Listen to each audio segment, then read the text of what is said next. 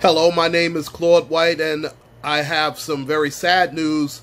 Um, Stevie Wonder needs a kidney transplant. Um, first and foremost, our hearts and prayers go to him. He's going. He is absolutely set to have this done in September.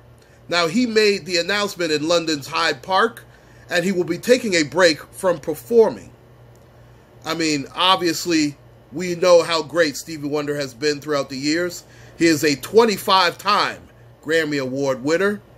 Of course, I mean, so many songs. I mean, I'd be here all day just talking about it. Um, I don't know which one is my favorite. In fact, I'll just limit it to three. Um, obviously, Ribbon in the Sky, um, Sir Duke, um, My Cherie Amour because that was the same year I was born. Um, I just told my age. You'll have to figure that out.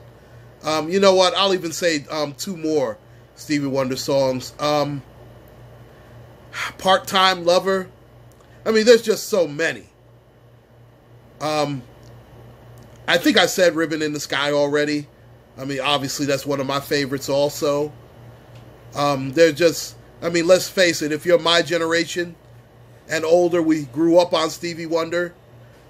I mean, um, living in the city, it's just so many immortal songs from the immortal talent, the genius, Stevie Wonder.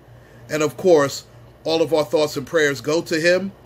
Um, he, as I said, he is due to have a, this kidney transplant in September. And as you know, we've lost so many legends over the years.